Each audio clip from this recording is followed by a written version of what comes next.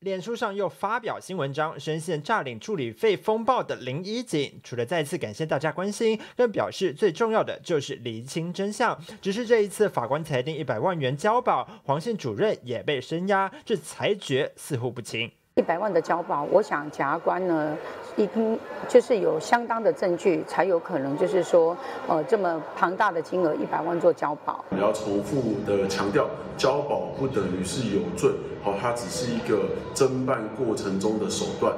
绿营出来还家，国民党影射犯罪。不过摊开零一己脸书贴文，底下民进党人士不见踪影。难道绿营铁了心就是要切割吗？说他是说就是该处理的就处理，主动就找一个比较没有那么严重的先杀给其他人看，跟在野党也可以交代啊，说你看我不是只有处理 KP 啊。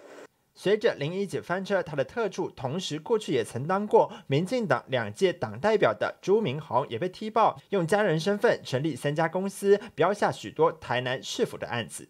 他没揭露，他是林一锦的特助的身份呐。换了你的太太当负责人，你的妈妈当负责人，请问你跟他们的关系是什么？你妈妈哎。你老婆哎，当负责人不是同样你朱明红吗？议员林彦柱拿着厚厚一叠从秘书处调阅的资料，表示朱明红四年多陆续标下市政府许多标案，总金额更高达一点九亿。一个办公室的探文夹一。一年可用多少？你可以买那么多碳蚊夹，你不是在笑死人吗？里面只有他这一家吗？里面密密麻麻，我想好几千间呢。为什么唯独就是朱明宏？林怡景助理费案被挖出案外案，会不会越滚越大？朝野都密切关注。欢迎新闻吴荣宇、庄品达，台南采访报道。